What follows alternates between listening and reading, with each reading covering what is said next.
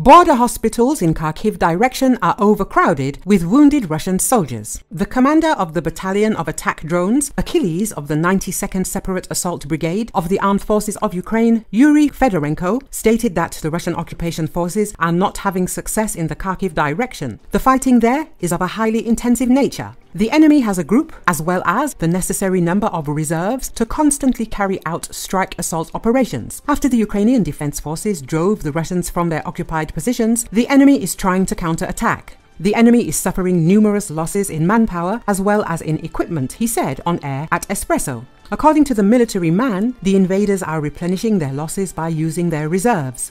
Despite this, Russians are complaining on social media that border hospitals in the Russian Federation are overflowing with wounded soldiers. The enemy uses aviation, using guided bombs of various weights. At the moment, they are doing this as intensively as possible, but everything has a beginning and everything will definitely come to an end, including enemy aviation, the battalion commander noted.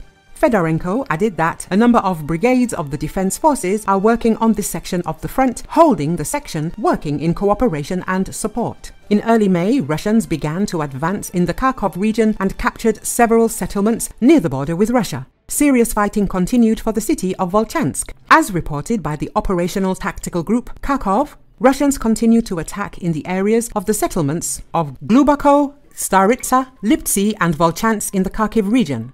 In addition, they are preparing new attacks. The latest death toll figures of Russian soldiers is equivalent to an average of above 1,000 a day amid the escalating intensity of battle on the newly opened front in Kharkiv and fighting elsewhere in east and northeast Ukraine, the British Ministry of Defense said.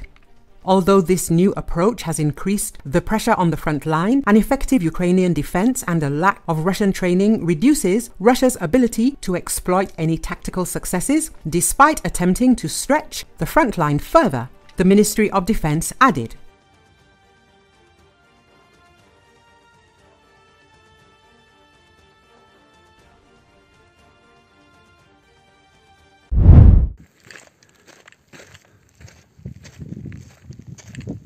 Комик уебал наш КАМАЗ. Да, нихуево комики работают.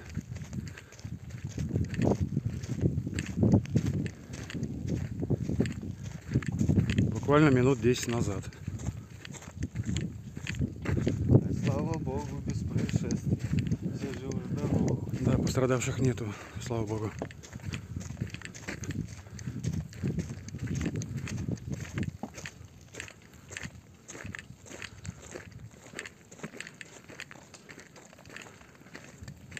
Бля, там бак точно не ебанет? Не должен. Бабки-то были, скорее всего, он уже въебал. Я все полностью хуярит. А может колеса въебывали? Да колеса хер с ним. Нет, хлопки что были. Да, как-то вот так.